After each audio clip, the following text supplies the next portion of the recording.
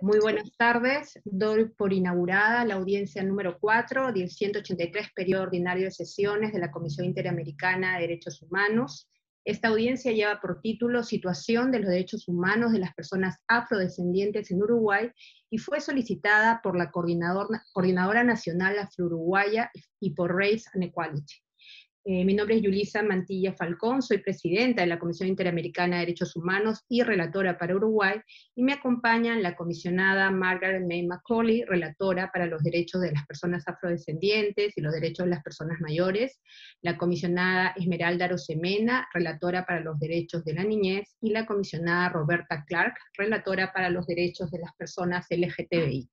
También eh, nos acompaña la secretaria ejecutiva Tania Renault, así como los relatores especiales Pedro Vaca y Soledad García Muñoz. Quiero expresar un cordial saludo a la honorable representación del Estado, a la sociedad civil, así como al señor Jan Yarat, representante del Alto Comisionado de Derechos Humanos para América del Sur. Eh, quería explicar antes de iniciar eh, la audiencia cómo va a ser la metodología. Vamos a iniciar con una primera intervención por 20 minutos de la sociedad civil, a la cual seguirá el Estado también por 20 minutos. El señor Jan Yarat tendrá 7 minutos para su exposición y finalmente la comisión por 20 minutos. En una segunda parte iniciaremos la sección de comentarios de sociedad civil y Estado por 10 minutos cada uno. Algunas cuestiones de forma, por favor. Tenemos una herramienta digital para medir el tiempo, eh, tenemos, contamos con interpretación bilingüe y también con subtitulado. Estas audiencias son transmitidas por webcast y con la grabación, en la grabación de las audiencias va a quedar a disposición en el canal YouTube de la Comisión Interamericana en el idioma original y en inglés. Dicho esto, iniciamos por favor con los 20 minutos de la sociedad civil y por favor se van presentando a medida que hacen uso de la palabra. Adelante, por favor. Distinguida Comisión Interamericana de Derechos Humanos, honorable comisionado y comisionadas, excelentísima comisionada Margaret May McCullough, honorable representante del Estado uruguayo y a todas las personas presentes, tanto virtuales. Primeramente quisiéramos agradecer públicamente una vez más al Estado uruguayo por la ratificación en el 2017 de la Convención Interamericana contra el Racismo, la Discriminación Racial y las formas conexas de intolerancia en adelante CIRDI o convención, siendo la ratificación el paso adecuado para avanzar en la lucha contra el flagelo por esta, y por esta acción consideramos es un modelo a seguir por otros estados. Hoy nos dirigimos a ustedes, Evelyn Ramos, Ramón Orlando Rivero, Noelia Maciel y Juan Pedro Machado, a nombre de la Coordinadora Nacional Afro-Uruguaya, en adelante Coordinadora Nacional, que se conforma por organizaciones de la sociedad civil afro-uruguaya, las cuales damos testimonio en la presente audiencia sobre la falta de implementación y direccionamiento de la CIRDI por parte del Estado uruguayo y por ende de sus implicaciones en la condición de vida de las poblaciones étnicas en el país y en particular de la comunidad afrodescendiente. Esta audiencia temática cobra especial relevancia por el contexto en el que se presenta. A 11 años de la primera audiencia que la coordinadora pidió en el 141 periodo de sesiones en 2011, luego de más de 10 años de esta última, nuevamente la coordinadora ha solicitado esta segunda audiencia temática para abordar la situación de emergencia social en la que se encuentra nuestra comunidad afrodescendiente y la falta de, implementación de la Convención. A 20 años de la declaración y plan de acción de la Tercera Conferencia Mundial contra el Racismo, a casi cinco años de la ratificación de la Convención por parte del Estado uruguayo, a dos años para la finalización del diseño de las personas afrodescendientes declarado por las Naciones Unidas y eh, su reconocimiento por parte de la OEA. Señalamos enfáticamente que observamos a la Convención como un marco normativo regional vinculante que permite obrar como hoja de ruta para que el racismo, la discriminación racial y las formas conexas de intolerancia que afecta a las poblaciones étnicas de las Américas en todas sus manifestaciones individuales, estructurales e institucionales se reduzcan en la medida que los Estados partes trabajen activamente para implementar la Convención. Para esta audiencia hemos enviado a los honorables comisionados y comisionadas y a la excelentísima comisionada May McCullough un informe abreviado que contiene información sobre la situación en la que vive la población afrodescendiente en Uruguay en medio de la situación compleja por el impacto del COVID-19 y la falta de acción por parte del gobierno uruguayo. Esta pandemia ha agravado el impacto del racismo y deteriorado nuestra calidad de vida, impactando en un aumento sustantivo de la desigualdad y aún al día de hoy caminamos por ella sin medidas específicas que mitigan la situación crítica de la población afrodescendiente, nativa, inmigrante y que tenemos eh, y que entendemos fundamental comenzar a resolver eh, con un Estado presente. En este sentido, es de gran preocupación que en nuestro país aproximadamente una de cada diez personas afrodescendientes y por esta condición, dos de cada diez personas pobres son afrodescendientes. Esta situación no ha tenido variante en relación a los años anteriores, pero el efecto del COVID ha aumentado las brechas de desigualdad entre la población afro y no afro. La concentración de pobreza en más de un quinto de la comunidad afrodescendiente en periodos largos no solo tiene efectos directos en las condiciones de vida, sino en las estrategias de integración de este sector de la población. Al día de hoy, 35 de cada 100 niños y niñas afrodescendientes son pobres y en departamentos como Montevideo, uno de cada dos niños son pobres, siendo uno de los países que ha mostrado mejores números a nivel del índice, de Gini, pero que le niega el bienestar de forma igualitaria a un sector de su población. Es preocupante la falta de instrumentación, difusión y, discusión de la CIRDI dentro de la estructura estatal, así como acciones dirigidas a la sociedad civil directamente relacionada, como lo son la población afrodescendiente y los pueblos originarios, como forma de fortalecer los derechos y el ejercicio de su participación ciudadana. Es justo informar que se han mantenido conversaciones previas a esta audiencia con representantes de Cancillería por parte de esta Coordinadora Nacional Afro-Uruguaya para avanzar en este aspecto en donde se mostraron receptivos a pesar de no mostrar ningún avance concreto en el tema hasta el momento. Por lo tanto, reclamamos que la falta de difusión, de, difusión y discusión de la CIRI continúe impidiendo la identificación y ejecución de los pasos necesarios para darle seguimiento adecuado.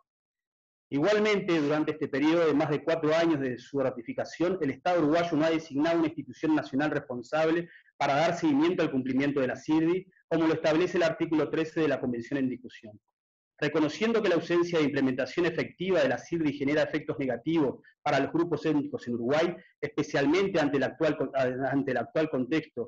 eh, contexto incierto por el impacto del COVID-19 sobre las poblaciones más vulnerables y tras la pérdida de garantías obtenidas en los gobiernos anteriores, es clave que se haga un uso oportuno, eh, oportuno y necesario de la CIRDI para enfrentar el racismo y la discriminación racial.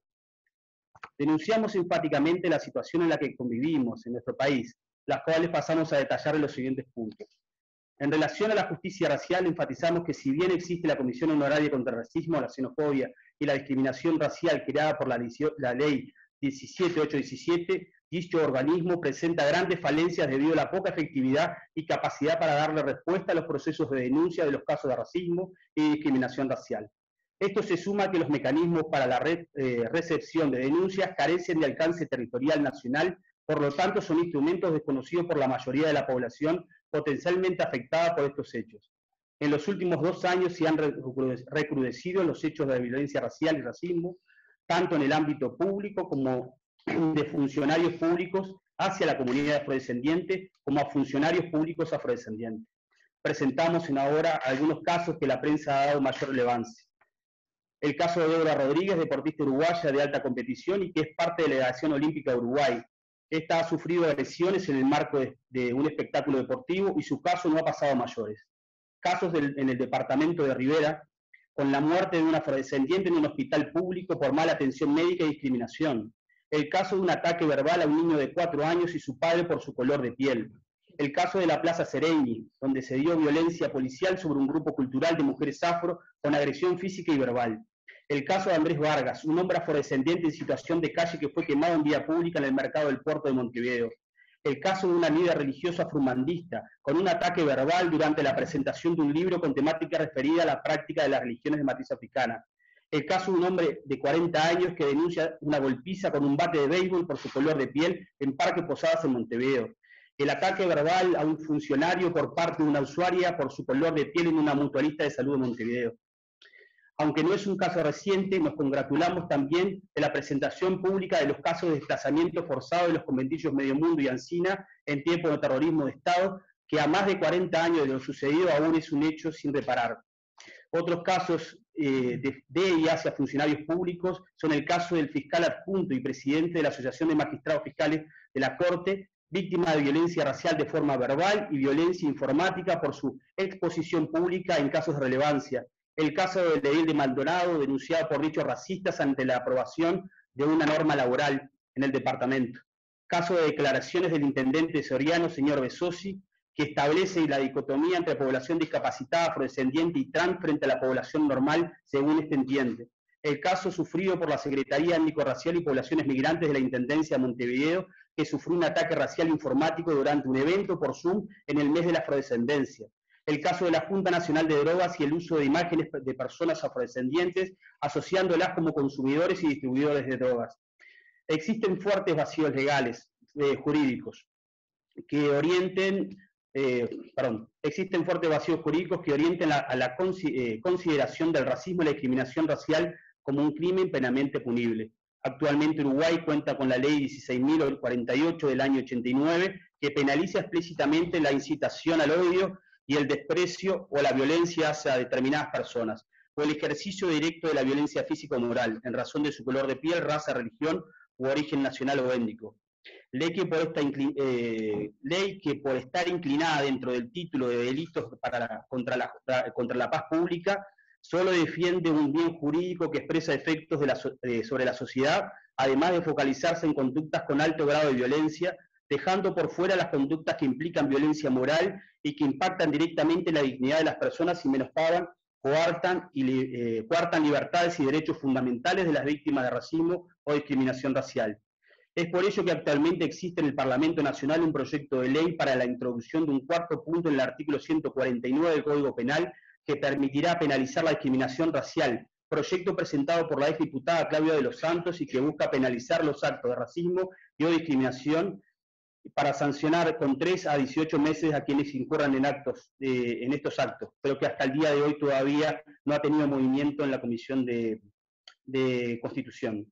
Más allá de esto, la comunidad afrodescendiente en Uruguay tiene medidas parciales y en algunos puntos las medidas son declarativas, por lo cual pedimos al gobierno uruguayo comenzar a redactar para su presentación en el Parlamento una ley integral que busque declarar la emergencia social de la población afrodescendiente y permita llevar adelante una política de Estado coherente y planificada a nivel de los próximos años.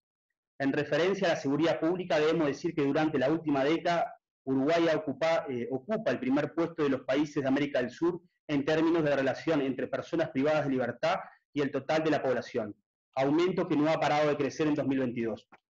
En el informe presentado ante las Naciones Unidas por Uruguay establece que aproximadamente 1.731 personas, un 20% de personas encuestadas en un estudio de un relevamiento en 2018, se consideran afrodescendientes. Pero en una presentación realizada hace pocos días por el Fondo de Población de las Naciones Unidas, un estudio realizado en 2021, se establece un cálculo de la tasa de prisionabilización para cada 100.000 habitantes por ascendencia y según esta, la estimación de la tasa de prisionabilidad para personas afrodescendientes es de 720 cada 100.000, mientras que para la población no afrodescendiente es de 210 cada 100.000 habitantes, estableciendo así que una persona afrodescendiente tiene una probabilidad de ser encarcelado tres veces superior al resto de la población.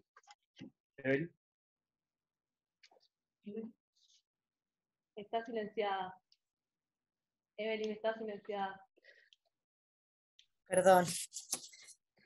La carencia de información estadística para el periodo 2020-2021 y la incorporación de la variable ascendencia étnico-racial en los registros administrativos. Observamos con, preocupación la falta de información estadísticas oficiales del Estado en los periodos 2020 y 2021 sobre la población afro-uruguaya, un tiempo donde la pandemia por eh, COVID-19 generó estragos en la vida de la población uruguaya. La omisión de la variante de ascendencia étnico-racial en la recolección de información estadística generó la ausencia de información oficial desagregada que analice el impacto directo de la población afrodescendiente y genere medidas pertinentes que permitan mejorar la situación de desigualdad. Esta omisión fue denunciada por la Coordinadora Nacional Afro-Uruguaya y aún no ha recibido respuestas de la Oficina de Planeamiento y Presupuesto, del cual depende el Instituto Nacional de Estadísticas.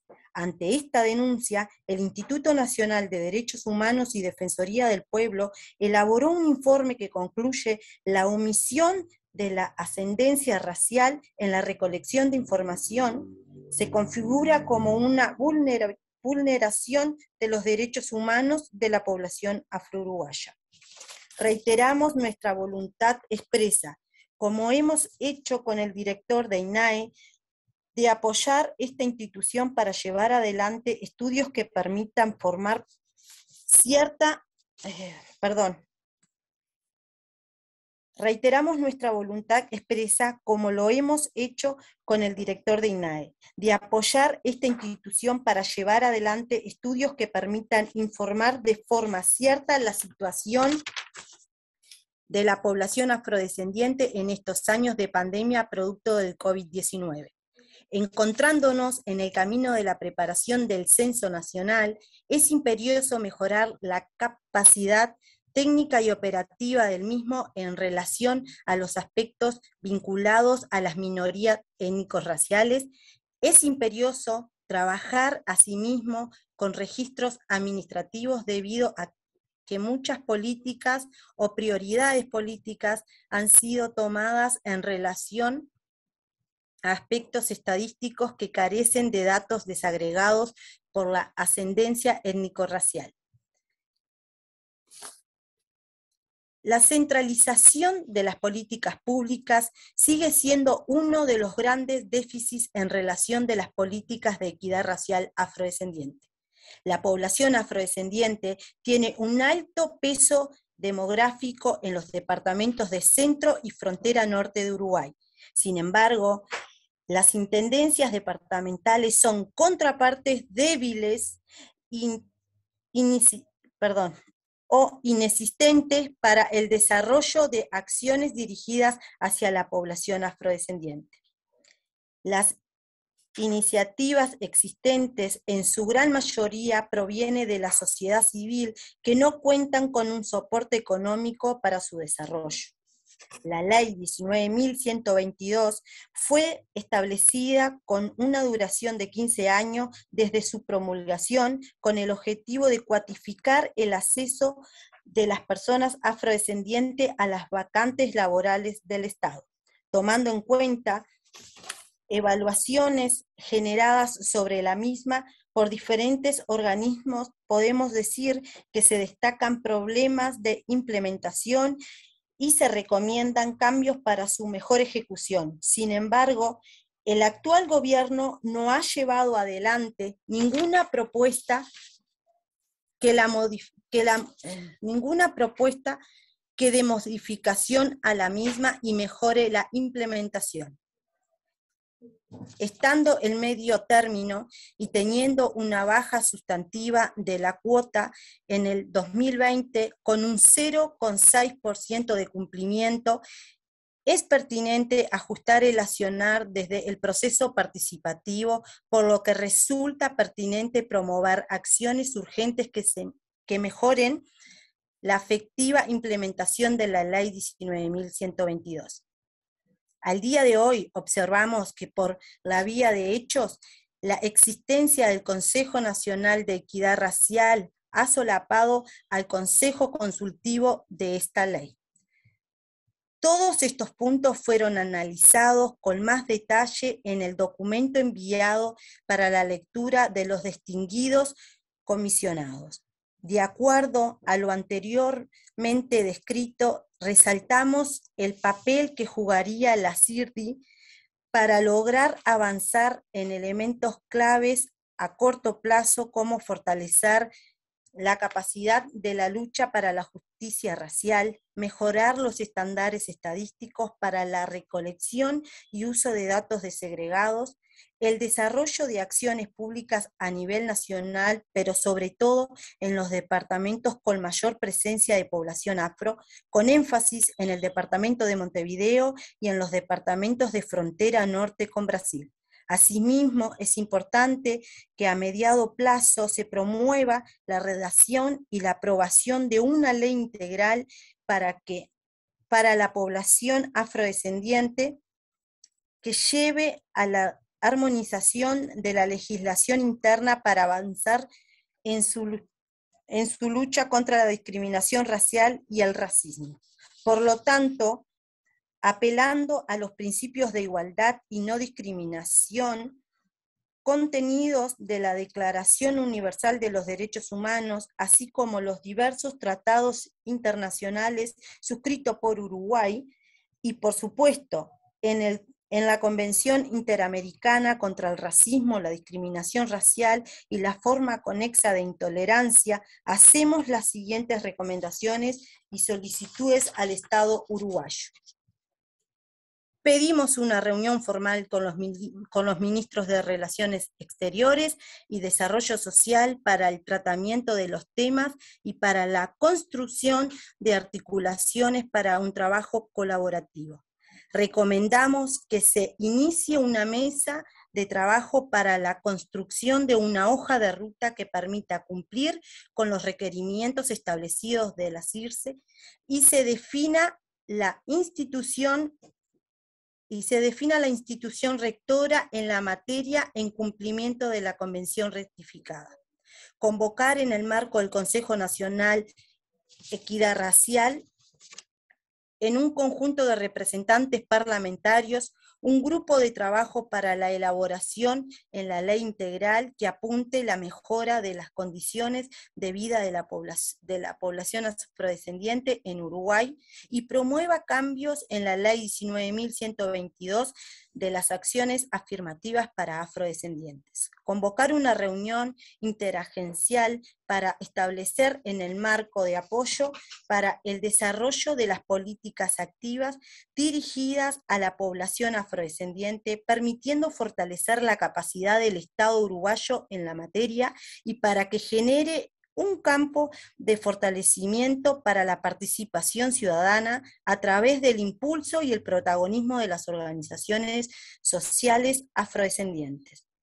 Es, central modificar la ley 17.817 que crea la Comisión Honoraria contra el Racismo, la cual entendemos ha cumplido una etapa con grandes debilidades y es necesario trascender acelerar el proceso de promulgación del artículo 149 cuater del Código Penal presentado durante la anterior legislatura que se encuentra en la Comisión de Asuntos Constitucionales aún sin tratamiento en el presente periodo.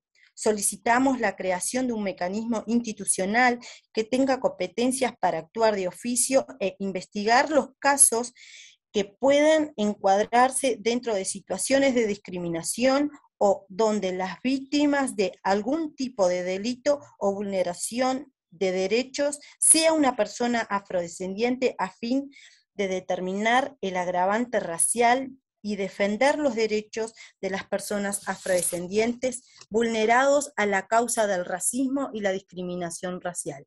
Al momento de iniciar la búsqueda del mecanismo de de seguimiento de la CIRSI, sería importante que se abriera un espacio para consulta con la sociedad civil como puede como para poder garantizar la participación amplia de los actores y la población a la que la CIRSE se dirige especialmente. Recomendamos al Estado uruguayo que se activen mecanismos en los tres poderes para resolver la violencia racial que vive la población afrodescendiente.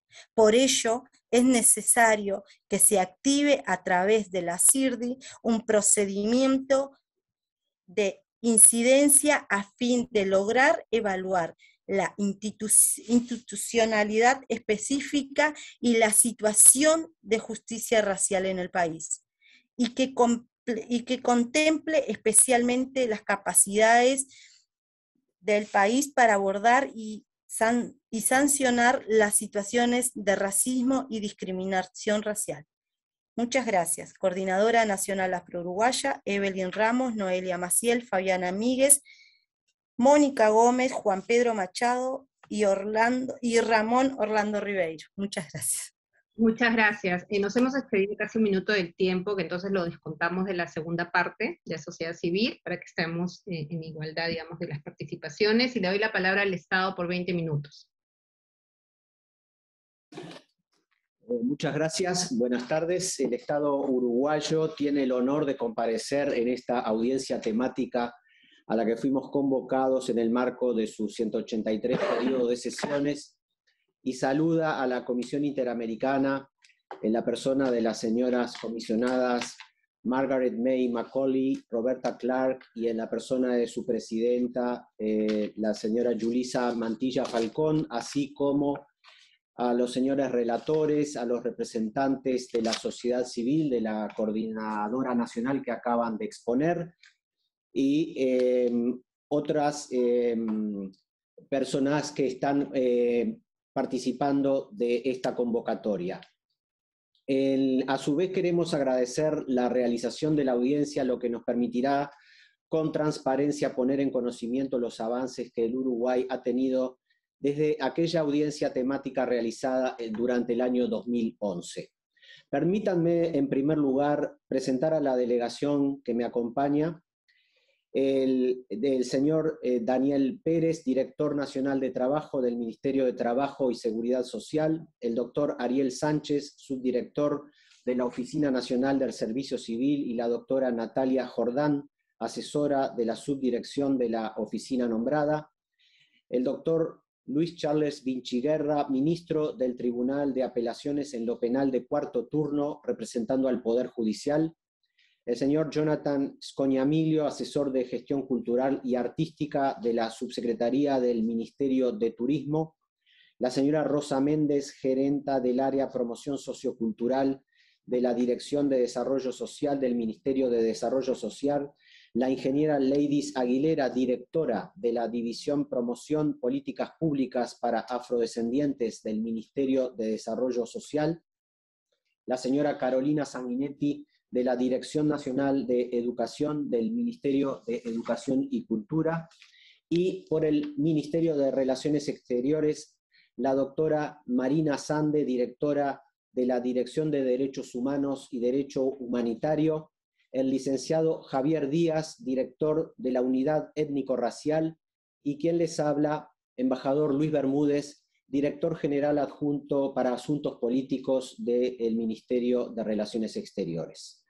Señoras coordinadoras, en la petición de audiencia realizada por la Coordinadora Nacional Afro-Uruguaya y Race and Equality, se hace referencia a la falta de implementación y direccionamiento de la Convención Interamericana contra el Racismo, la Discriminación Racial y formas conexas de intolerancia por parte del Estado uruguayo. Uruguay ha ratificado la Convención Interamericana contra el Racismo, la Discriminación Racial y formas conexas de intolerancia por la ley número 19.517 del 21 de julio del año 2017.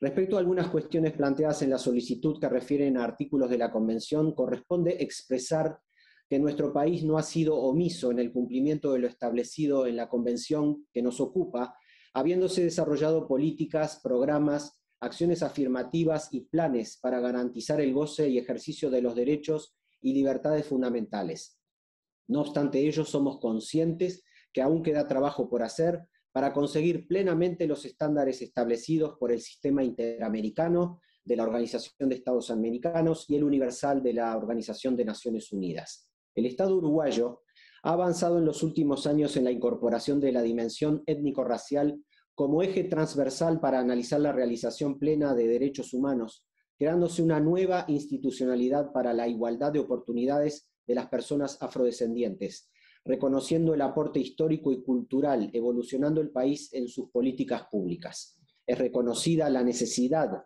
de institucionalizar las políticas dirigidas a poblaciones afrodescendientes en aras de contar con los recursos necesarios para su funcionamiento a través del tiempo. No obstante, como hemos manifestado, aún queda por hacer, siendo necesario además un cambio estructural de la sociedad. Entre las medidas institucionales adoptadas en el año 2020 se aprueba el Presupuesto Nacional de Sueldos, Gastos e Inversiones para el ejercicio 2020-2024 por Ley 19.924, en el cual se incluye la creación dentro del Ministerio de Desarrollo Social de la División de Promoción de Políticas Públicas para Afrodescendientes, con la finalidad de dotar de mayor respaldo a las políticas y acciones con enfoque étnico-racial. Esta propuesta jerarquizó en el Uruguay la temática, creando esta división dentro del Ministerio de Desarrollo Social, la que le otorga rango legal y le asigna presupuesto propio para poder realizar acciones concretas y procurar el cumplimiento de la Ley 19.122. Este hecho supone una medida muy importante, permitiendo un avance en la construcción de un Estado garante de derechos de la población afrodescendiente creándose una nueva institucionalidad para la igualdad de oportunidades, reconociendo el aporte histórico y cultural en línea con lo establecido en la Convención. En su carácter de órgano rector permitió ordenar y centralizar el trabajo, lo que redunda en una mayor eficiencia, demostrándose la importancia y el compromiso del Estado uruguayo para con la población afrodescendiente. En sus acciones ha desarrollado líneas de trabajo que serán explicitadas más adelante por las representantes del MIDES. A su vez, el programa Accesos es un programa que se desarrolla dentro del Ministerio de Desarrollo Social y que permite generar oportunidades para la inserción al mercado laboral formal para 2.800 personas entre 18 y 64 años de edad, que se encuentran en situación de vulnerabilidad socioeconómica en todo el territorio nacional. El MIDES también procederá a explicar y dar más detalles al respecto. Acciones para enfrentar los tiempos del COVID en la población afrodescendiente. El Ministerio de Desarrollo Social implementó una serie de medidas tendientes a la protección social de población vulnerable. Entre ellas se resaltan alimentación mediante la intervención del Instituto Nacional de Alimentación, el INDA, tales como entrega de canastas con alimentos, tickets de alimentación, etcétera, y de los datos que eh, contamos a junio del año 2021 surge que el 21% de estas prestaciones fue entregada a la población afrodescendiente. Otras medidas como la partida adicional para atención a la primera infancia, así como el otorgamiento de un subsidio especial por desempleo para los trabajadores en condiciones de informalidad.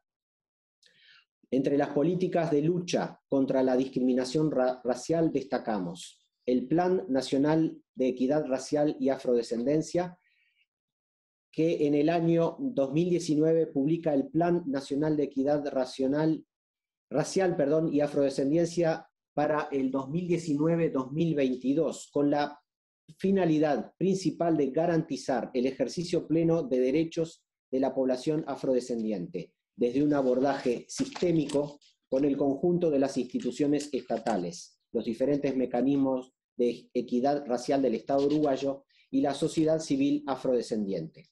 El mismo tiene como objetivo avanzar y profundizar en el diseño e implementación, monitoreo y evaluación de políticas públicas, programas y acciones afirmativas con perspectiva de equidad étnico-racial. Los principios rectores del plan están estrechamente ligados a la Agenda 2030 de los Objetivos de Desarrollo Sostenible, instalándose un contexto favorable para avanzar en la construcción de la equidad étnico-racial. Como parte de la implementación de este plan nacional, se han desarrollado acciones entre las que se incluye un fuerte componente de capacitación dirigido a funcionarios y jerarcas del Estado en cuanto a la inclusión de la dimensión étnico-racial afrodescendiente, y la implementación de la ley 19.122, que entre las disposiciones con el fin de eh, favorecer la participación en las áreas educativa y laboral de los afrodescendientes, se trabaja para la promoción y acompañamiento de la aplicación de la cuota para población afrodescendiente, fundamentalmente en el ámbito laboral, donde los números reflejan aún la imposibilidad de un total cumplimiento de la normativa a nivel del Estado. El proceso de institucionalización y avance de estas políticas experimentó un fortalecimiento con la creación y puesta en marcha del Consejo Nacional de Equidad Racial, presidido por el MIDES, el Ministerio de Desarrollo Social, e integrado por todos los incisos del Estado, la sociedad civil y la academia, entre otros actores relevantes. El Consejo sirve de espacio para la coordinación de las políticas públicas con enfoque étnico-racial y para el desarrollo de acciones conjuntas para el avance de los derechos de las personas afrodescendientes. De conformidad con la Ley 19.670 de marzo de, 1910, de 2019 y su decreto reglamentario 81-19, el Poder Ejecutivo creó el Consejo Nacional de Equidad Étnico-Racial y Afrodescendencia.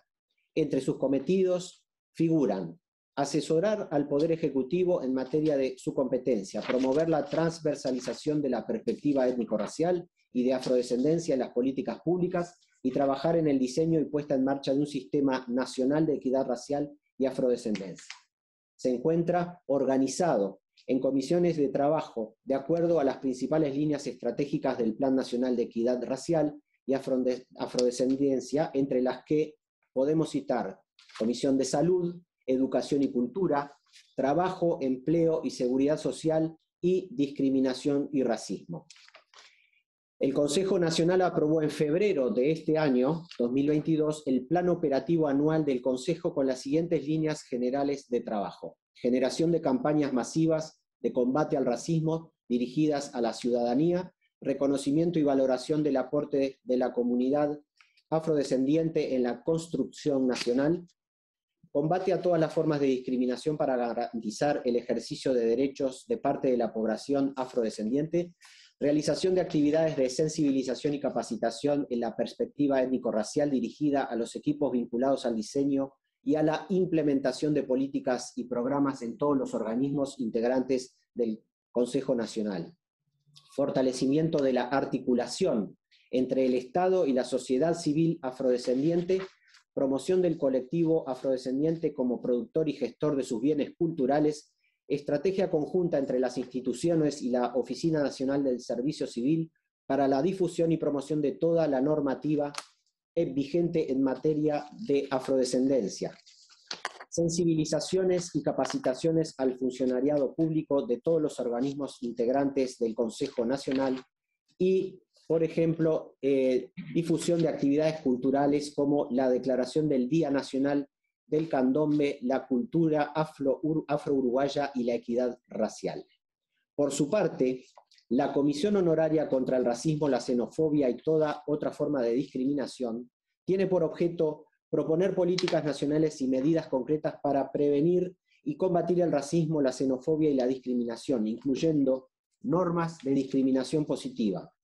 A tales efectos, dentro de sus competencias se encuentran analizar la realidad nacional en la materia y plantear al Poder Ejecutivo la creación de normas jurídicas específicas o la modificación de otras ya existentes, monitorear el cumplimiento de la legislación nacional, diseñar e impulsar campañas educativas, recopilar y mantener actualizada la información sobre el derecho internacional en la materia, recibir y centralizar información sobre conductas racistas, xenofóbicas y discriminatorias, llevar registro de las mismas y, si correspondiere, formular la correspondiente denuncia judicial, brindar un servicio de asesoramiento integral gratuito para personas o grupos que se consideren discriminados o víctimas de actitudes racistas, xenófobas o discriminatorias. La Comisión Honoraria articuló con la Organización Internacional de las Migraciones un plan de difusión y capacitación a realizar en forma conjunta en tema migración, especialmente en las zonas de frontera, en las ciudades limítrofes de Chuy y Rivera, linderas con la República Federativa de, Brasil, y a efectos de optimizar su desarrollo, posibilitando las intervenciones de los ministerios integrantes de la, de la Comisión con sus diferentes aportes, con, una, con, un enfoque de género, eh, facilitación en los trámites, aspectos culturales y consideración de casos de trata. Otras medidas adoptadas. La Ley 19.775 de julio de 2019 cuyo inciso primero en el artículo 28 modifica la ley orgánica militar, establece el principio de no discriminación, destacando que las Fuerzas Armadas no habrá discriminación alguna por razón de nacimiento, origen racial o étnico, género, sexo, orientación sexual, religión o convicciones, opinión o cualquier otra condición o circunstancia personal o social. Se destaca también que el Ministerio de Trabajo y Seguridad Social dentro de las acciones desarrolladas ha incorporado la perspectiva étnico-racial en el diseño del Plan Integral de Promoción del Empleo, sensibilización y capacitación a los operadores de los centros de empleo en el territorio nacional, cuyas cifras y datos, así como acciones proyectadas, serán aportadas por el Ministerio de Trabajo y Seguridad Social aquí representados. La Oficina Nacional del Servicio Civil indica que en el año 2021 se realizaron cuatro reuniones de la Comisión Implementadora de la Ley 19.122, eh, referidas específicamente a acciones afirmativas y cuota, creada por el artículo 9 de la ley citada. Las acciones definidas fueron creación del Observatorio para el Seguimiento de la Implementación, que ya fuera mencionado, la elaboración de un informe que recopila evaluaciones y sugerencias con apoyo técnico del Ministerio de Desarrollo Social, del Ministerio de Trabajo, del Ministerio de Educación y Cultura y de la Oficina Nacional del Servicio Civil. Articulación con autoridades estatales a efectos de lograr una comunicación con los organismos que por su nivel de autonomía se dificulta la implementación de la ley con gobiernos departamentales. Diseños de campaña de bien público para difusión en medios y redes sociales. Generar propuestas para incluir acciones afirmativas en el ámbito privado a partir de programas para favorecer el empleo juvenil. Además de lo expresado en el ámbito del Poder Ejecutivo, nos es grato también destacar que esta eh, iniciativa y este enfoque ha permeado a todos los poderes del espectro del quehacer nacional. A finales del pasado año se celebró la reunión de parlamentarios y parlamentarias afrodescendientes de América Latina y el Caribe en 16, 15 y 16 de noviembre. El evento fue convocado por el Parlamento de la República en seguimiento a los acuerdos surgidos en el Foro de Parlamentarios y Parlamentarias celebrado en Costa Rica el 2 de septiembre de 2021, que contó con el auspicio del Gobierno de Costa Rica y con el apoyo del Fondo de Población de las Naciones Unidas y la Comisión Económica para América Latina y el Caribe, realizado en el marco de la primera conmemoración del primer Día Internacional de los Afrodescendientes. En esta oportunidad participaron parlamentarios y parlamentarias representados e invitados procedentes de Brasil, Colombia, Costa Rica, Ghana, Honduras, Ecuador, México, Perú, Panamá y Uruguay.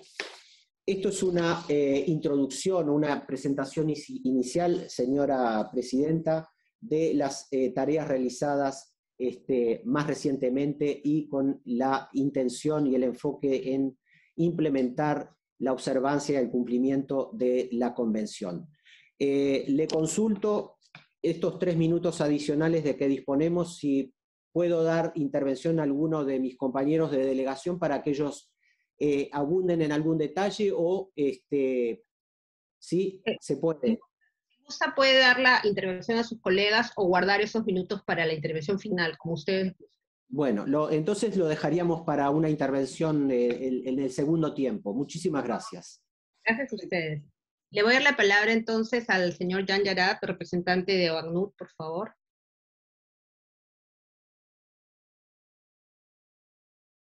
Buenas tardes, eh, ¿se, me puede ver? Eh, se te escucha, querido Jan, pero no se podemos ver.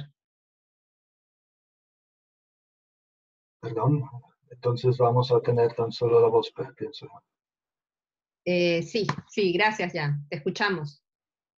Estimada Presidenta de la Comisión Interamericana, comisionadas, personas defensoras de los derechos de la población afrodescendiente, representantes del Estado uruguayo, muy buenas tardes a todas y todos. Es un gran honor estar hoy con ustedes hablando de un tema prioritario para nuestra oficina, como es la situación de las personas afrodescendientes en Uruguay en seguimiento de nuestro trabajo, trabajo y el decenio. Para efectos de mi participación ha sido vital la información proveniente del Mirador DESCA, el proyecto conjunto eh, de la INDH y la Universidad de la República con apoyo de nuestra oficina y que permite identificar avances y brechas de grupos en situación de vulnerabilidad. Sin duda, la creación del Consejo Nacional de Equidad Étnico-Racial y Afrodescendencia, la elaboración y aprobación del Plan Nacional de Equidad Racial y afrodescendencia son pasos importantes hacia un reconocimiento de la situación de las personas afrodescendientes. Sin embargo, pese a estos avances normativos y de política pública, subsiste la necesidad de incorporación de la variable étnico-racial en la recopilación de datos de manera sistemática y permanente por todas las instituciones públicas, en los registros administrativos, eh, destacando la importancia del desarrollo de indicadores con enfoque de derechos para identificar la situación y tomar decisiones de política adecuadas. Por otro lado, los casos de violencia o discriminación racial, sufridos por personas afrodescendientes tales como referidos por los peticionarios, llaman al fortalecimiento de medidas para la protección de esta población. Como lo identificó el Comité CERD, entre otros puntos se precisa una revisión de definiciones de discriminación directa e indirecta en todas las esferas del derecho y de la vida pública, que lleve al procesamiento, sanción y reparación de casos en los tribunales. No se trata solo del derecho penal, sino también de la importancia de tales definiciones para la protección en el ámbito del derecho civil y administrativo, con particular énfasis en el acceso a los bienes y servicios. Si bien existen mecanismos específicos ante actos de discriminación racial, como el Grupo de Trabajo sobre Políticas Étnico-Raciales y la Comisión Honoraria contra el Racismo, la Xenofobia y toda otra forma de discriminación, la INDH y el Poder Judicial, aún es necesaria más coordinación efectiva entre los diversos mecanismos de lucha contra la discriminación racial. Además, como señaló el Comité CERD, es prioritario promover la capacitación a funcionarios públicos y la sensibilización de las víctimas y conocimiento del sistema jurídico y vías institucionales para acceder a justicia y reparación. La discriminación estructural se ve reflejada en la brecha de desigualdad en términos de pobreza y exclusión social, que afecta de manera desproporcionada a la población afrodescendiente en Uruguay, como también mencionaron los peticionarios. Así, según datos oficiales, la proporción de personas afro en situación de pobreza es más del doble que en la población blanca.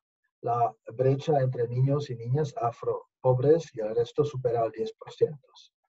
A pesar de existir ciertos avances alcanzados por la población en general en materia de educación y trabajo, las garantías y cumplimiento de eh, estos derechos siguen siendo factores preocupantes. En términos de formalidad de empleo, eh, también se constatan claras brechas, mientras que en 2019 el 34,5% de trabajadores afrodescendientes estaban en situación de informalidad.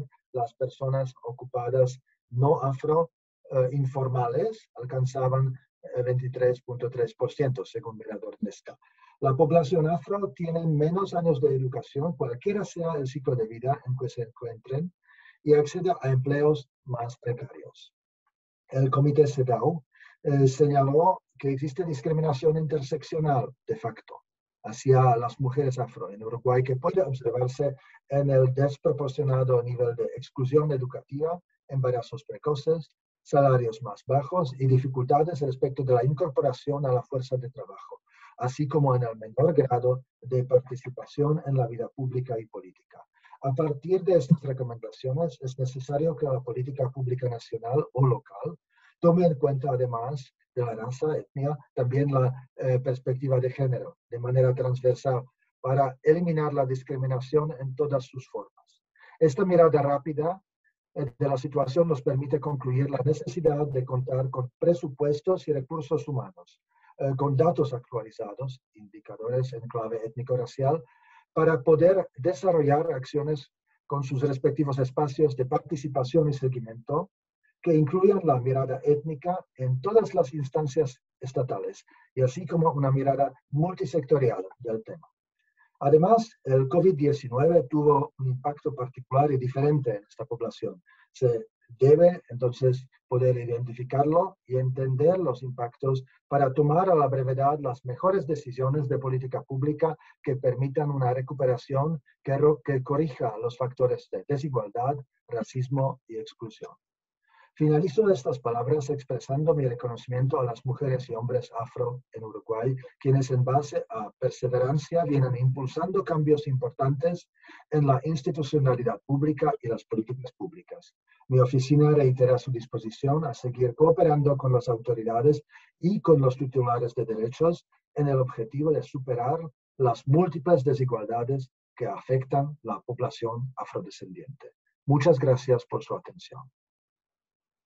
Muchas gracias, señor Jan Yarab. Eh, inicia la participación la Comisión Interamericana, así que en primer lugar eh, le pregunto a la comisionada Margaret May Macaulay, relatora de personas afrodescendientes, si desea usar la palabra para su intervención, por favor. Indeed, Madam President, thank you very much. Um, I can't, could not possibly pass up this opportunity. Um, thank you. Um, I greet all um, civil society representatives warmly and thank you for being here and um, for having us deal with this um, very concerning issue. Um, um, as you know, um, I can't remember exactly how many years, that shows you how our work is in the Commission. Um, when I was in Uruguay uh, to meet with Afro descendants, uh, five, five, wow. Yes, that's a too, that's too long a time, yes. And to meet with um, the, um, we, we, met with the president and also members of um, heads of ministries and so on. But also, uh, it is too long a time. But I also, I also do um, warmly greet all the representatives of the state of Uruguay and thank you very sincerely for being here because it's a much more fruitful and uh, um, advantageous uh, uh, for the entire work in the area that we're dealing with or any area of human rights when the state participates in the hearings. So I thank you for being here and for participating. I, I, um, I just have um, a couple of things to say and a question to ask, which um, part of which you can answer the answer now and part later. I would expect the, my question will be directed to the state, but I would expect civil society if they wish to um, make an input in it. The first thing I wanted to mention is I have um, I am now the rapporteur for um, the rights of the elderly, and and um, as such, I am extremely concerned about the elderly in within the Afro descendant community. Because if the able bodied, um, not elderly, younger persons of this community are having and living in such disadvantages, then I, I am very concerned even more so about what is the situation of the elderly Afro-descendant people. I, I of course will be particularly concerned about the women as well um, in this group. I, I just started the rapporteurship, took over the rapporteurship, and so we will be working apace in, in regard to them. Um, that being said, I wish to ask, I comment and then I ask my question. I noted from your, what I could see from your delegation, that I do not see any Afro descendant member of your delegation. Um, I'm not saying there's none, but I, I, I can't see any. And if you do have any, could, they, could you please point that out to us, please? And my question really then turns on this was how many Afro descendant persons I'm, I, there are two Afro descendants. I see two persons' arms go up. Three. Yes, well, um, uh, thank you, thank you. I, I, I can't see it from my, my camera. Anyway, how many Afro descendant persons do you have in your ministry and at, at the various levels of seniority, right to the entrance, the person, a newly um, um, engaged person, from the highest to the lowest, and which, which I hope you can answer now. And how many Afro descendant persons do you have in the other ministries of Uruguay? And I would be most grateful for the commission's uh, um, work if you could give us um, this information, not only in numbers, but also with disaggregated information as to age, gender, levels of um, education, um, uh, economic status, um, and um, sexual orientation as well. Um, so if you can, I, I don't expect you can give me that information here today, but if you can, it would be super helpful. If you cannot, could you please send it to us in writing? And I am hoping that you can do so within two months of this hearing. And um, we can then communicate this information to civil society um, for their future um, comment.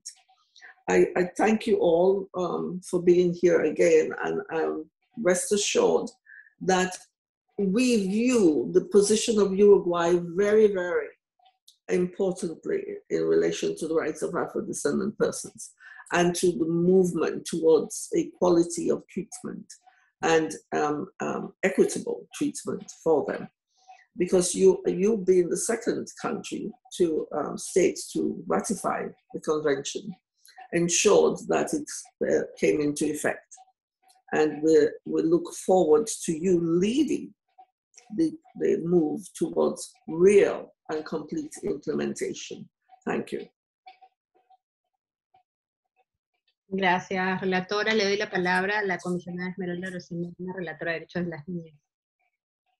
Gracias, Presidenta. Un saludo a las representantes de las distintas organizaciones de sociedad civil que nos han dado la oportunidad de escuchar con, con mucha precisión aspectos claves en esta, en esta audiencia y a la ilustre representación del Estado uruguayo también por eh, darnos eh, esas, esas informaciones que eh, efectivamente a la hora de hacer la comparación quisiera con, con, lo planteado por la sociedad civil y por el representante de la alta comisionada, el doctor Yarab, un saludo también para, para él especialmente, eh, hacer una, relación con, tres puntos que me interesaría eh, precisar.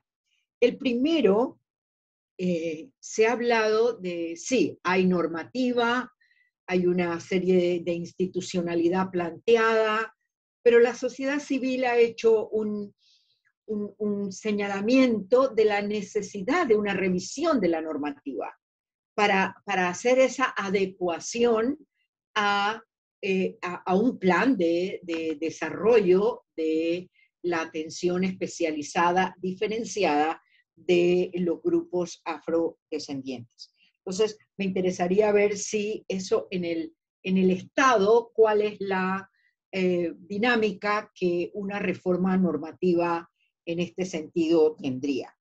El segundo aspecto que también planteó la sociedad civil era la importancia de tener los datos y que no había en la captación de los datos esta, esta, eh, este señalamiento de la posición, esta visión de étnico-racial que es importante que en los datos se eh, identifiquen para poder evaluar realmente eh, los distintos aspectos que se quieran efectivamente medir.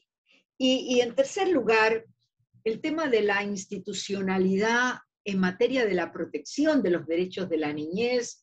Aquí se ha dicho que eh, ha, habido una, una situación de, de, abuso de, frente a ataques directamente a niños, una situación quizás es de una, una situación muy particular pero me gustaría saber si la institucionalidad, que, que, sé que es una institucionalidad muy, muy, muy firme, muy fuerte, la de la protección de la, de la infancia y de la niñez, me gustaría saber cuál es el papel de esta institución en materia de este reconocimiento de un trato diferenciado, interseccional, que en este caso los niños necesitan, los niños afrodescendientes, necesitarían, porque, porque para, si esto empieza en la niñez, esta, este reconocimiento de la dignidad del ser humano desde la niñez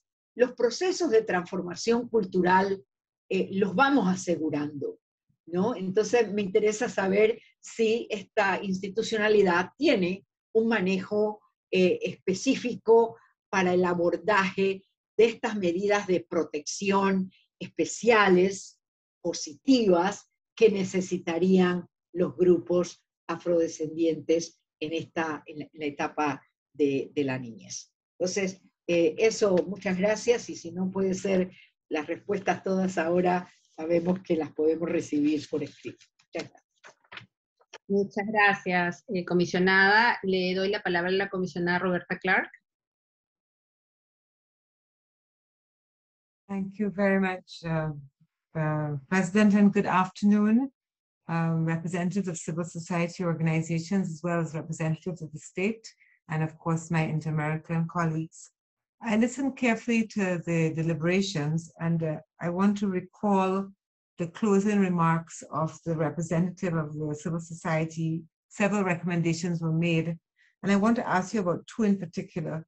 You talked about um, developing a roadmap to comply with the convention. That was one recommendation. The second one was defining an institution in compliance with the relevant article um, in the convention. I think that might be um, Article 13. I was wondering, thinking now about what the state spoke to.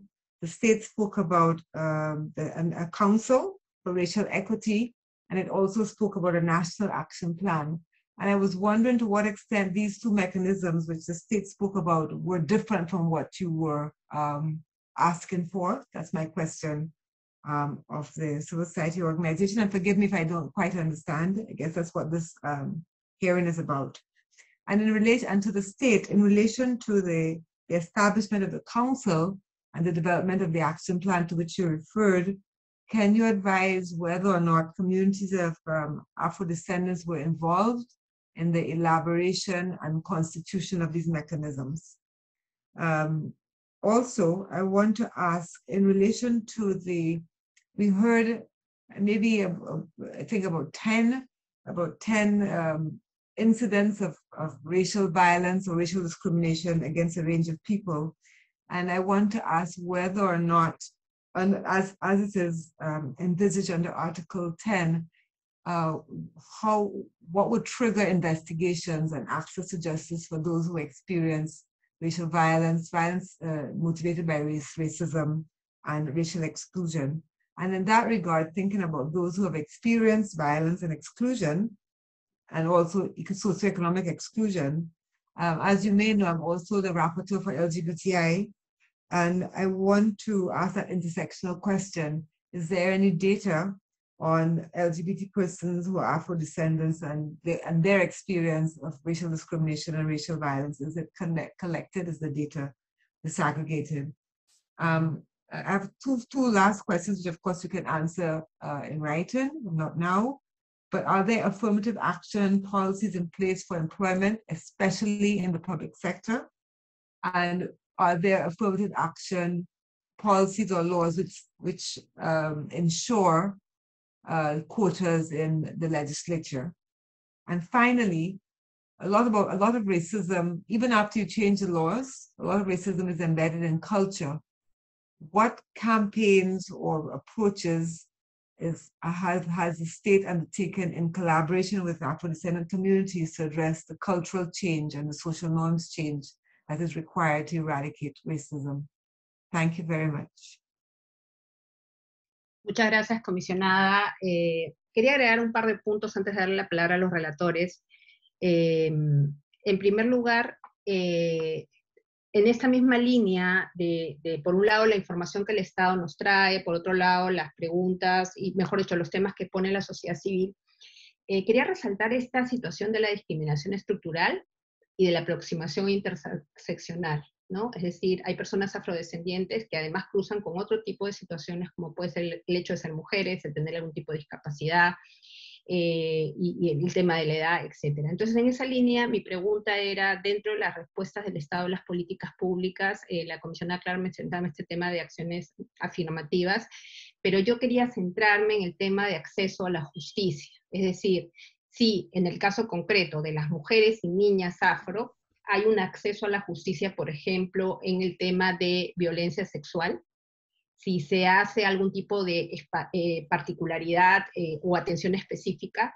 Hablo además de los embarazos eh, forzados, productos de una violación sexual en una mujer afrodescendiente, por una persona, por ejemplo, que no pertenezca a la comunidad afrodescendiente y las consecuencias que eso trae en la comunidad.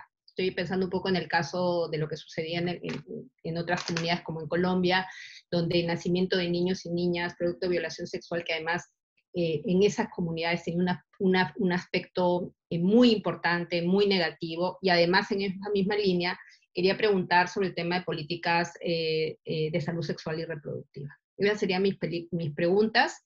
Y ahora le pregunto a la secretaria ejecutiva Tania Renault si tiene alguna pregunta.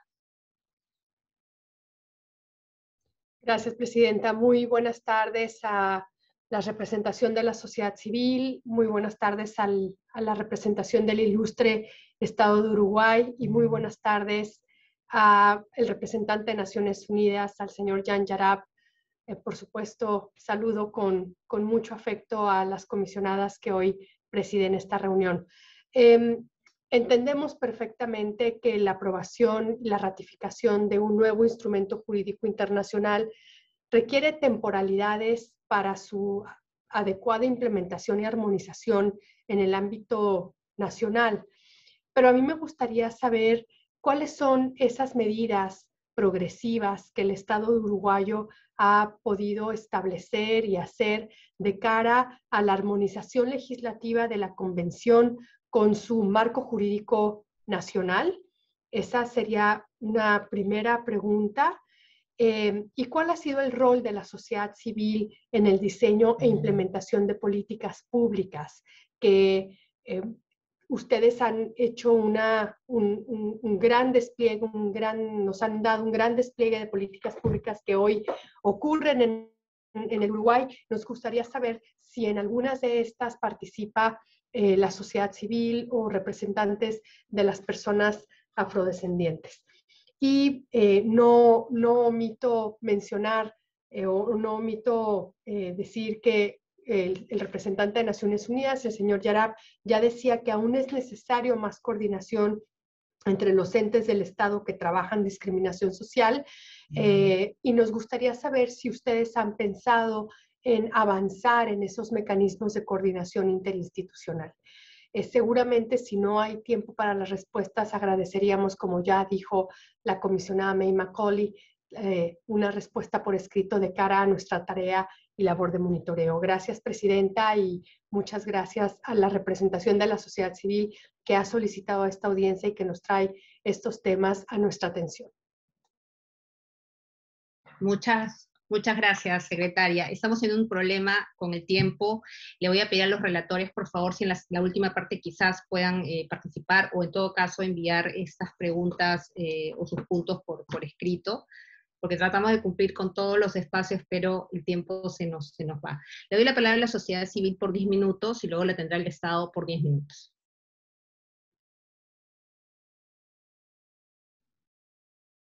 Carlos, pues Buenas tardes, ¿me escuchan?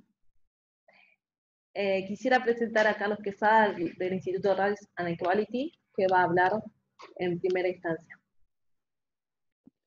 Muchísimas gracias, este, eh, Noelia. Muchísimas, muchísimas gracias, excelentísimos comisionados y excelentísimos representantes de, del Estado uruguayo.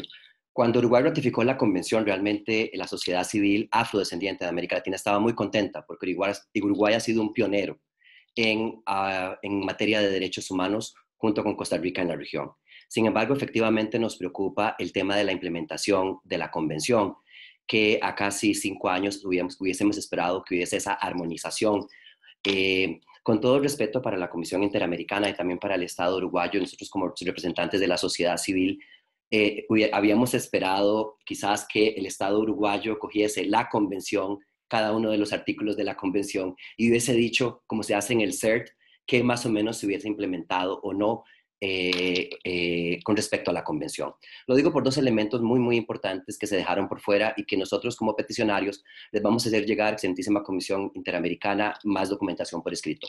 Uno tiene que ver con el artículo 4 de la Convención Interamericana, que es básico, que tiene que ver con el tema de, y me encanta que esté aquí el, comisionado Vaca, tiene que ver con el tema de los límites a la libertad de expresión. ¿En qué sentido? En que el artículo 4 lo que plantea es que los estados tienen que, de alguna u otra forma, controlar y monitorear todos, los, todos aquellos eh, eh, eh, información que, se, que salga por Internet que, que, incite al odio o a actos de discriminación racial. Y eso es un problema serio en América Latina, no solamente en Uruguay, porque eso lo que hace es continuar o perpetuar los estereotipos en la región. Y el otro punto importantísimo que, que no oímos a la, a la excelentísima delegación eh, uruguaya y que tiene, tiene que ver con acceso a la justicia, eh, comisionada eh, Yulisa, de manera más general, es el tema, en el caso de los afrodescendientes, del perfilamiento racial y cómo este perfilamiento racial, de alguna u otra forma, afecta de manera diferenciada a aquellos, especialmente jóvenes hombres afrodescendientes, eh, eh, frente a la justicia. Entonces vamos a hacerles llegar por escrito, no quiero quitar más tiempo a mis colegas de Uruguay para que continúen. Muchas gracias, Noelia.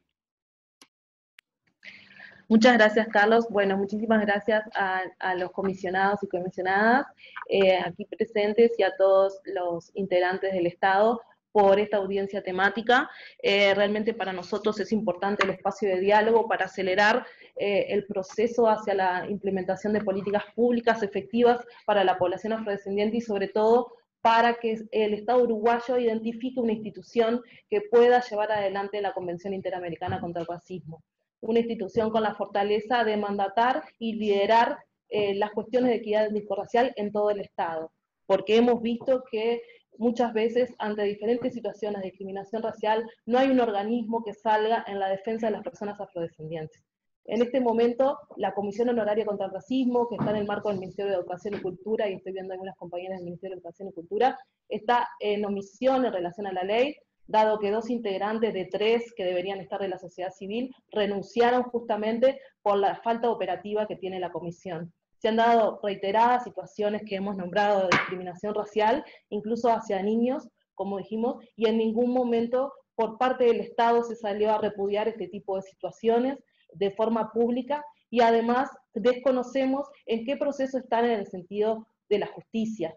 Eh, ha sido muy difícil el acceso a la justicia de las situaciones de discriminación racial, por eso decimos que creemos que este, este mecanismo, como es la Comisión Honoraria contra el Racismo, debe ser superado y debe pensarse otros mecanismos que den respuesta a la situación que se está viviendo. Saludamos la creación de la institucionalidad dentro del MIDES eh, de afrodescendientes, sabemos que cuenta con un presupuesto, pero también hemos sido notificados que durante 2021 este presupuesto no fue afectado en el sentido que eh, no se realizaron ningún tipo de acciones y no tuvieron presupuesto para desarrollarse. Entonces queremos que esto no se vuelva a repetir en los próximos años, sobre todo que son los años más importantes de gestión antes de que cambie el gobierno. Eh, esto se dio también en el marco de lo que fue la pandemia del COVID, donde nosotros como Coordinadora Nacional Afrodescendiente denunciamos que el Instituto Nacional de Estadística omitió la variable étnico-racial, no pudiendo contar con datos específicos de la afectación de la pandemia a la población afro. Eso ya dijimos que la institución de derechos humanos lo configuró como una vulneración de los derechos de la comunidad afrodescendiente, pero realmente creemos que eso tiene que subsanarse informando datos este, actuales sobre la situación de la población afro y nos dijeron que el 21% de las prestaciones que fueron entregadas fue a esa población afrodescendiente. Eso reafirma la situación de vulnerabilidad en la que nos encontramos y creemos que ya no se puede esperar más para la implementación de políticas públicas efectivas. Conocemos que hay, por ejemplo, un proyecto que es financiado por AECID, que está por implementarse desde 2019 y por diferentes excusas, además se presentó en el lugar que se iba a implementar, pero nunca se termina de implementar. Entonces, eh, escuchamos a la delegación del Estado que habla de planificaciones, de planes que quiere llevar adelante, pero estos planes nunca se hacen efectivos. Y queremos este, evidenciar cómo la situación cada vez es más grave y además no solo la, situación de desigualdad, sino de violencia racial que estamos viviendo. Eh, sobre algunas preguntas, es imposible contestar todas las preguntas, pero me importa mucho las de reforma normativa, este, ahí está el, el, juez Luis Charles, que también ha defendido mucho lo que es eh, la promulgación del artículo 149 cuater, que es este, la ley del Código Penal que defiende ¿no? las situaciones de discriminación racial. Entonces, en ese sentido, me parece que hay que acelerar el proceso y que es una de las cosas que estamos necesitando. Además, nosotros habíamos también recomendado tener un monitor o una persona que pueda eh, acompañar de forma eh, cercana todos los casos de discriminación racial o los casos de vulneración de derechos a las personas afrodescendientes para ver cuál es la afectación del componente racial este, ante esa situación. ¿no? Son todas este, recomendaciones que nosotros creemos que, que, tienen, que van en camino a acelerar el proceso de política pública y de defensa de nuestros derechos humanos. Nosotros sentimos la necesidad de pedir justamente esta audiencia para poder este, establecer marcos de diálogo más proactivos. Entonces, eso es un poco lo que yo iba a decir. Le dejo la palabra a Juan Pedro Machado.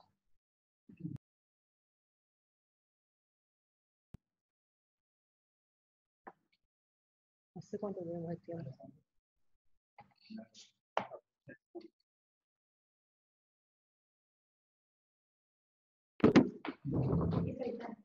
¿Está bien?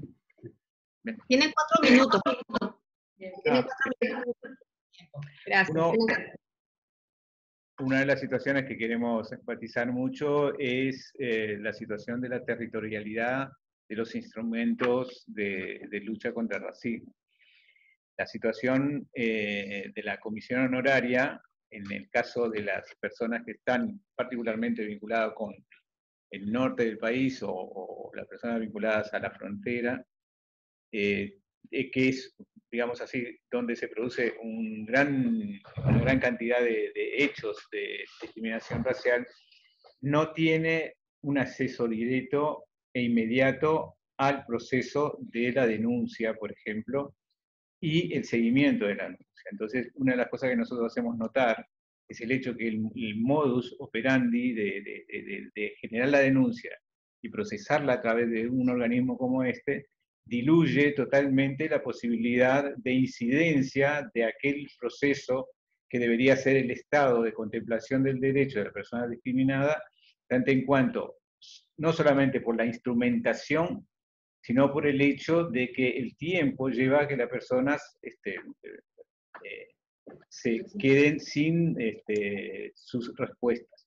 Por eso estamos sugiriendo de forma enfática que debería haber un modelo de algún, eh, algún oficial del Estado, alguna autoridad que tuviera esa capacidad de actuar de oficio y analizar las diferentes formas de discriminación que existen y a su vez hacer de puente para que se vaya al espacio judicial.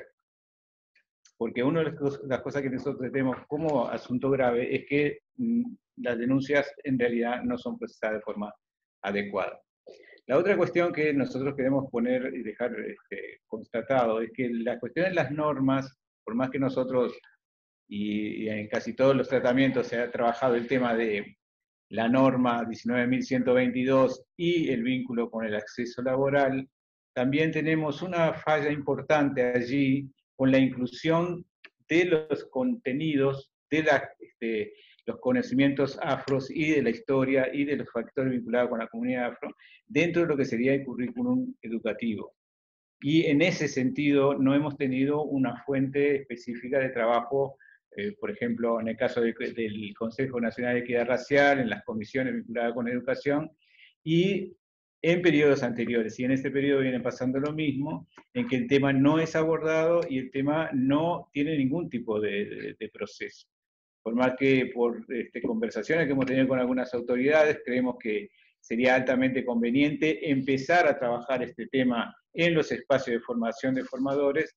De cualquier forma, este, tiene un proceso muy lento y muy inestable.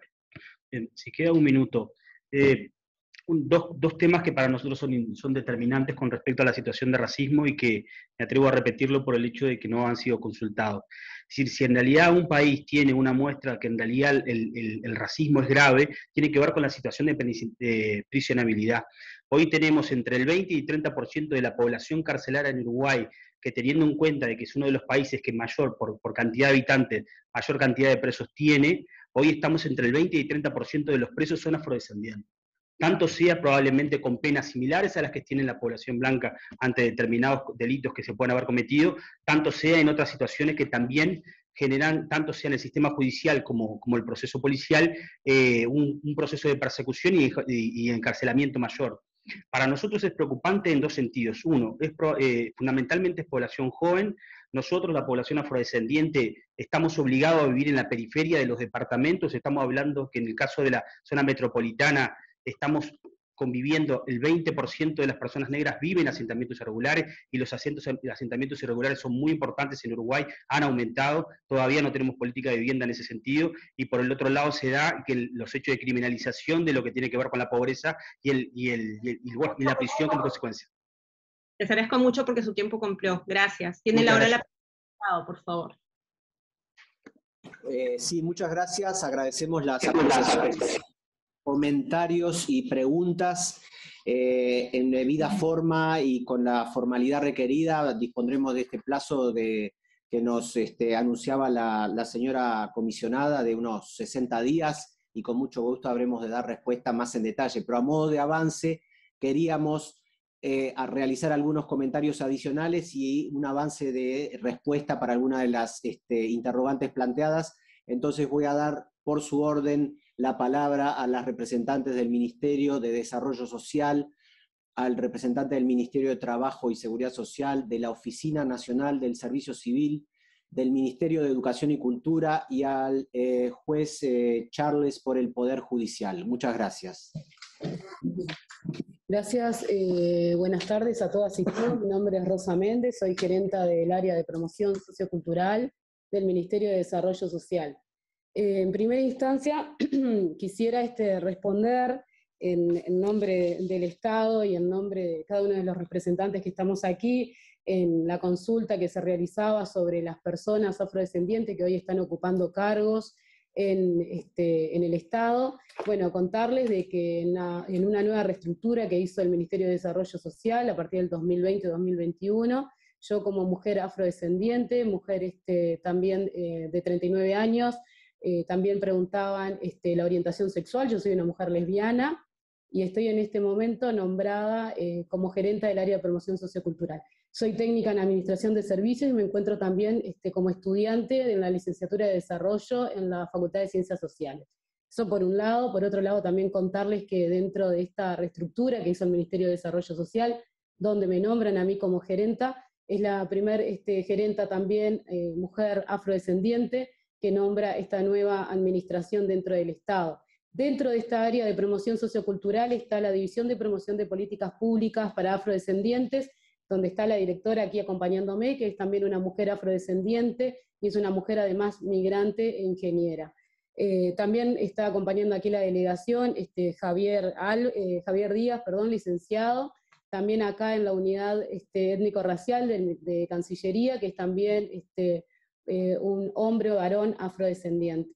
También contarles que tenemos una senadora afrodescendiente, también a nivel parlamentario, también contarles que tenemos en otras este, unidades también de mecanismo étnico-racial personas afrodescendientes que llevan adelante estos cargos. Eh, por otro lado, también este, hacían mención, que ahora le voy a dar la palabra a la directora de promoción de políticas públicas para afrodescendientes, sobre la nueva jerarquización de la división, también con un presupuesto asignado que no se había dado antes este, en todas las políticas que se han llevado a cabo sobre este, afrodescendencia.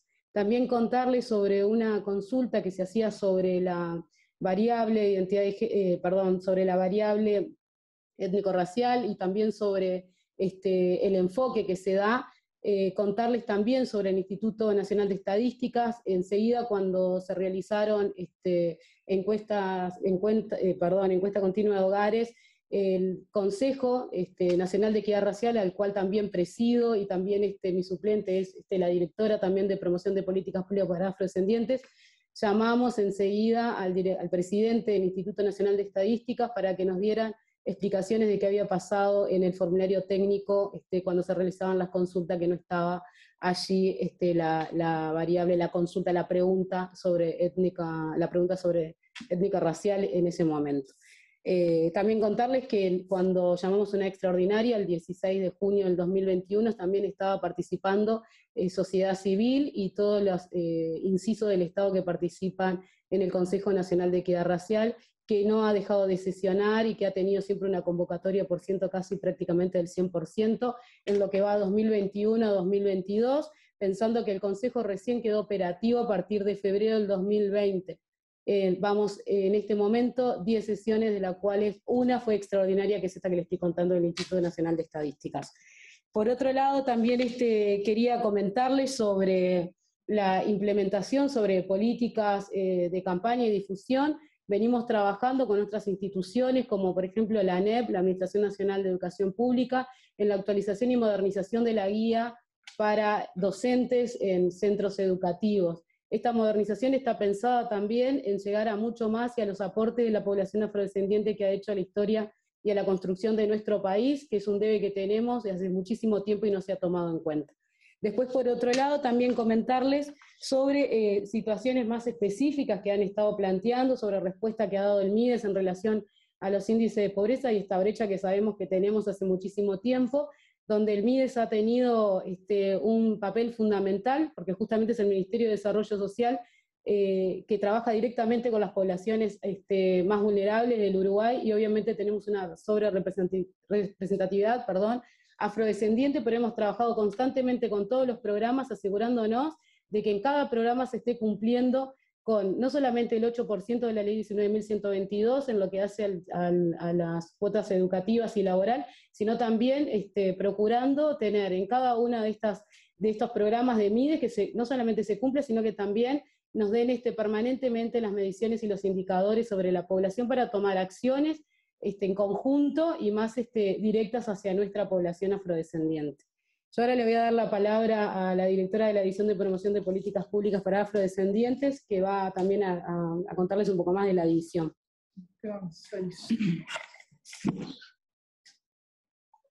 Muy buenas tardes para... ¿se me escucha, no? Sí, sí. Buenas tardes para todos y, todas. Eh, celebrar esta, esta instancia de, diálogo, esta audiencia, que nos parece eh, muy importante tanto por los planteos que, realiza eh, la sociedad civil como poder tener esta instancia de intercambio con todos los actores del Estado y eh, con la Comisión Interamericana también de Derechos Humanos. Em, mi nombre es Leilis Aguilera, soy ingeniera. Eh, actualmente me desempeño como la directora de la División de Promoción de Políticas Públicas para Afrodescendientes. Es una Nobel división dentro de la estructura del Estado Em, es una división que, eh, como bien eh, comentaba eh, al inicio el señor embajador, surge justamente de la ley de presupuesto, la 19.924, aprobada en el año 2020 y que entra a estar operativa a mediados del año 2021. Es una división que muestra eh, y reafirma el compromiso que tiene el Estado eh, en lo que tiene que ver con eh, las políticas y las acciones dirigidas al colectivo afrodescendiente. ¿Por qué digo esto? Digo esto porque justamente en esta ley que le da creación a esta división, en su artículo 510, que es donde surge la división, fue una ley que fue aprobada en el Parlamento por la totalidad de los partidos políticos con representación parlamentaria, mostrando no solo, no solo el, compromiso, sino eh, la necesidad de trabajar estos temas. Eh, es una división que, le, como bien decían, otorga una institucionalidad jerárquica. Hasta el momento eh, no se había tenido ninguna, ningún espacio dentro del Estado con la jerarquía con la que cuenta la división en estos momentos, que opera, como bien decía la gerenta del área, dentro del Ministerio de Desarrollo Social, y por otro lado, y no menor, eh, no porque haya quedado para el final, es menor, incide también directamente en lo que tiene que ver con em, la importancia y de alguna manera con lo que reafirma eh, el compromiso y lo que tendría que ver también con el tema de la lucha por la discriminación. ¿Por qué razón digo esto? Digo esto porque es la primera vez que dentro del Estado uruguayo se crea un espacio con presupuesto propio. Eh, para trabajar directamente las acciones que tendrían que ver, están dirigidas al colectivo eh, afrodescendiente. Entonces, eh, como bien lo celebraba sociedad civil, el Estado también celebra la creación de, esta división que es bastante nueva, con toda una serie de, líneas de trabajo para, para ejecutar. sé que hay muchas preguntas y tengo que dar paso también a, al, al, resto de los integrantes de la, de la delegación, pero eh, no quería, eh, quería para, para, cerrar, hablar algo puntualmente relacionado con lo que tiene que ver con el seguimiento de las acciones afirmativas dirigidas a la población afrodescendiente en el Uruguay. Actualmente eh, sabemos que tenemos una ley que es la, la ley 19.122 y que justo dentro del quinto plan de acción nacional de gobierno abierto, que es este, este plan que afirma una estrategia país eh, para concebir los planes y los procesos de co-creación en Uruguay, fue planteado eh, que sale justamente del seno de la Comisión Implementadora de la Ley 19122, eh, constituida por el Ministerio de Desarrollo Social, el Ministerio de Trabajo y Seguridad Social, la Oficina Nacional de Servicio Civil y el Ministerio de Educación y Cultura, surge una propuesta para la creación de un observatorio para el seguimiento y la implementación de las acciones afirmativas dirigidas a las personas afrodescendientes.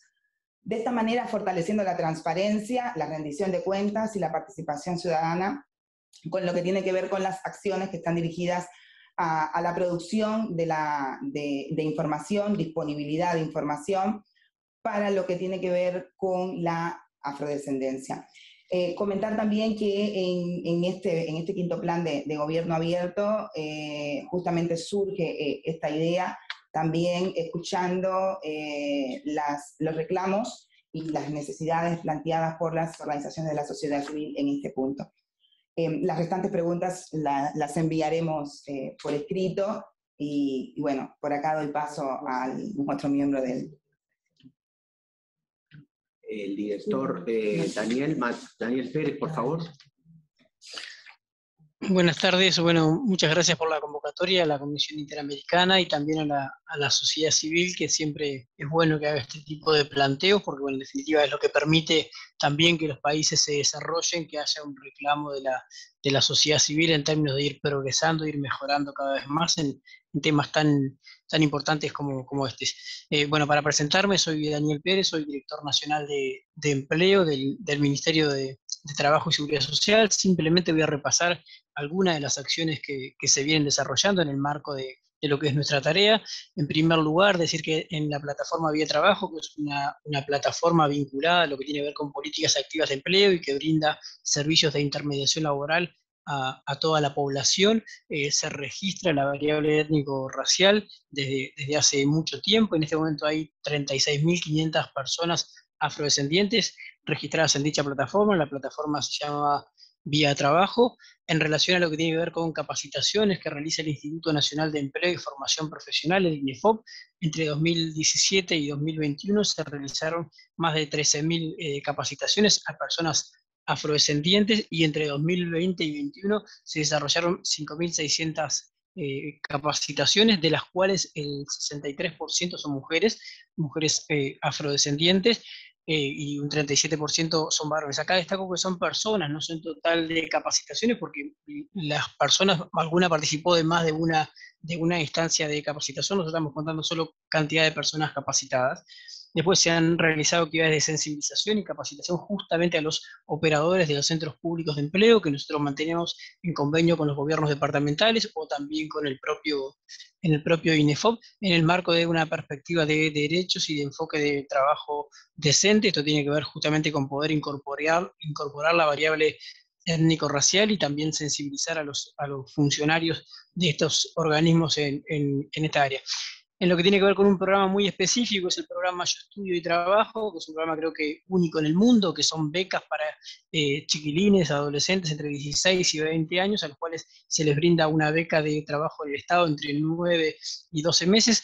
Hay una, hay una, está registrada la variable, pero además se cumple desde 2014 con la cuota del, del 8% de personas afrodescendientes. En 2014 esta cuota se cumplía solo para el departamento de Montevideo, para la capital del país. A partir de 2016 se empezó a, extender esta cuota a todas aquellas localidades que permitían tener, eh, digamos, que hacer un coeficiente correcto para, cumplir con este, con este 8%. Y desde la última edición, la edición 2021, eh, en realidad esta cuota se, se se cumple o, se calcula a partir del registro total de becas que, que se realizan a nivel del país, llegando en esta última edición al 14% de personas que, integran el programa cumpliendo con, esta cuota. Estamos sobre el tiempo, qué pena. Eh, bueno, disculpas. No, no se preocupe, yo entiendo que hay muchísima información eh, y solamente para cerrar, agradeciendo en primer lugar a las organizaciones por la información que nos traen ahora constantemente, creo que su, su, presencia es sumamente importante para el trabajo de la comisión. Agradezco a la delegación del Estado por estar aquí, por estar presencialmente, por participar. Un saludo muy cordial al embajador Washington Adalá, que ahí lo, lo veo. Muchas gracias, embajador. Eh, y además de eso, bueno, eh, quería solamente desde la Comisión Interamericana destacar que en el año 2021 publicamos el informe temático sobre derechos económicos, sociales, culturales y ambientales para las personas afrodescendientes, una publicación de la Comisión Interamericana con la Redesca. Y bueno, lamentablemente el tiempo no nos alcanzó, pero mis colegas este, relatores van a poder también enviar sus comentarios, pero eh, solo recordar cómo la comisión se pone a la disposición y de manera particular la redesca para este tema eh, en cuanto a personas afrodescendientes. Es nuestra mayor preocupación la visibilización y como han, se han planteado muchísimas preguntas. Eh, y yo sí creo que es positivo, más allá que ahora no no se hayan podido responder, porque son parte de un diálogo que debe continuar.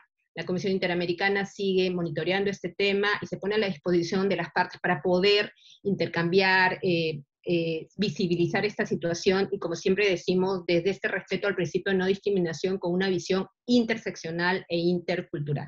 Agradezco a mis colegas de la Comisión, al equipo de la Secretaría Ejecutiva. Cerramos entonces esta audiencia, cerramos el primer día de audiencias en este 183 periodo de sesiones. Que tengan muy buena tarde. Hasta luego. Muchas gracias. Hasta luego. Gracias, Presidenta, por la mención del informe.